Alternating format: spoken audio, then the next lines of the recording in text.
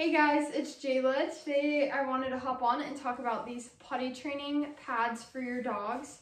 I absolutely love this product. I've been using this for actually quite some years.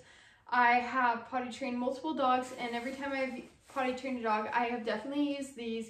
It just helps with all that mess that I don't want to clean up, especially in the crate when I bring my dog home and I put them in a crate. I always lay these down, especially if I have to go somewhere for like an hour or two. I always will lay these down because it's so much easier to pick up the mess with this rather than have to clean the whole crate and wipe everything down on the floor. So I'll give you a close up.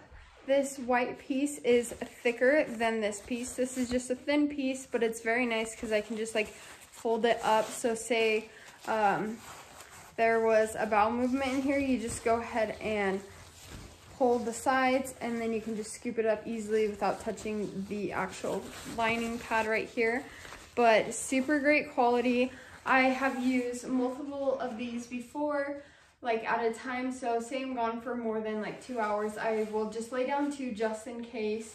And honestly, I didn't even need to do that because these have worked super great. They hold lots of liquid and I love that I can just toss them in the trash when I'm done because it comes with so many different um, potty training pads.